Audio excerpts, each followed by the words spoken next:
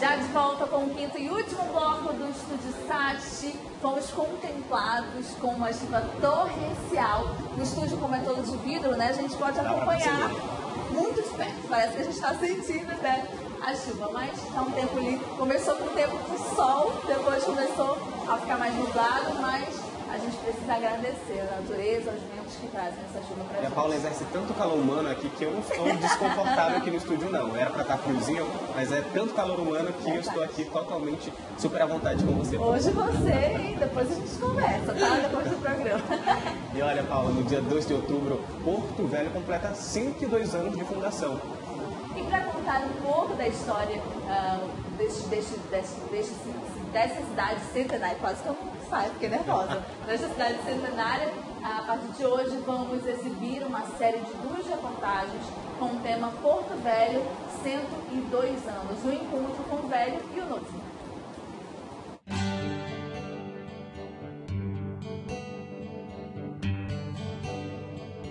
Porto Velho, uma cidade marcada pela história, que no dia 2 de outubro completa 102 anos de criação, tornado município do Amazonas em 2 de outubro de 1914, durante a construção da estrada de ferro Madeira Mamoré.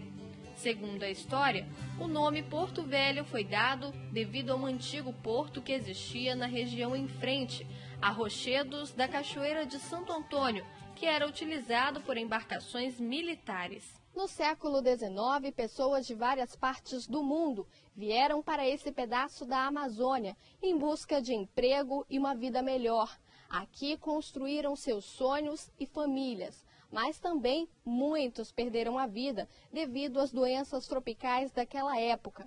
Há quem diga que a cada um desses dormentes dos trilhos representa a vida de um operário que participou da construção da ferrovia. E a história da criação de Porto Velho cruza com esses trilhos. foi iniciado um povoado em razão da construção da estrada de ferro Madeira Mamoré em 1907. Mas o povoado cresceu e se desenvolveu, ocasionando a criação do município de Porto Velho no dia 2 de outubro, data significativa para a história de Rondônia. No ano seguinte, em 1915, foi instalado o município. E as locomotivas eram usadas para transportar a produção de borracha que vinha de Guajará-Mirim e da Bolívia. De lá eram trazidas para Porto Velho e daqui seguiam para a Europa e Estados Unidos. Porto Velho era uma cidade de muito valor, de muita produção e de muita harmonia também. Então, para criar Rondônia, Porto Velho, a responsabilidade primeiro foi da estrada de ferro Madeira Moré. Então, que liga Porto Velho a Guajará-Mirim, levando produto de Porto Velho a Guajará-Mirim e de volta e o retorno trazendo a borracha, produto elástico, castanha, eh, sova, pele silvestre e outros materiais que eram produzidos na Bolívia e no Brasil com destino a Belém do Pará. Também quantos trens vinham carregados somente com castanha do Pará. E todas essas eram levadas para Belém do Pará para depois ser recambiada para outro, ou para outro país ou para São Paulo, onde ela ia se transformar em óleo comestível.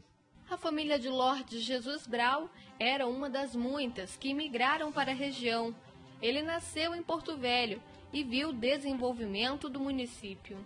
Diz que desde menino já sonhava em seguir os passos do pai e hoje ele é responsável pela estação. Ficou eu, minha mãe, eu vinha para cá, para Porto Velho, né? Morando ali no, no bairro do Triângulo, com minha avó, que era uma das primeiras parteiras que tinha aqui na época. Eu fui crescendo no meio dessa ferrovia aqui, até hoje eu estou por aqui, tomando conta. toma conta. Toma conta aqui. Assim como a estrada de ferro, a capela de Santo Antônio também fez parte da criação do município. A capela foi oficialmente inaugurada em 1913 e edificada no alto de um morro, sendo a primeira capela construída em uma área que hoje pertence a Rondônia.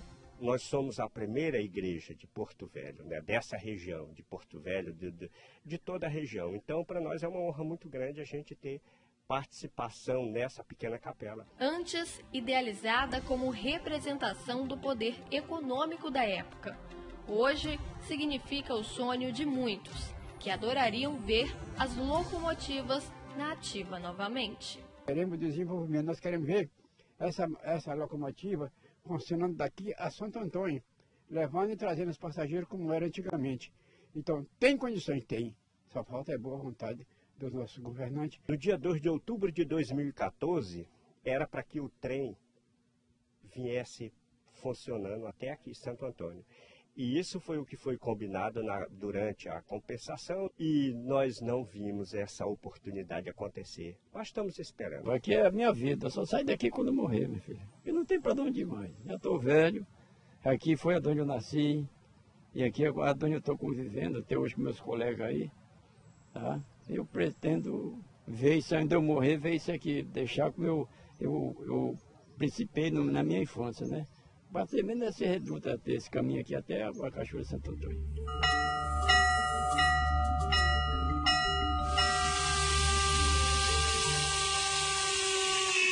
Essa matéria. Porto Velho é uma cidade que eu não conheço, mas eu quero já deixar aqui meus parabéns para todos os portuguelenses que completaram aí 102 anos. Um grande beijo para todos vocês. Nós vamos agora encerrando por aqui o Estúdio Sat, mas lembrando que amanhã tem programa também às 10 horas. Amanhã já é sexta e vem aproveitar a sexta com a gente. Tem muita coisa boa. Até lá. Tchau.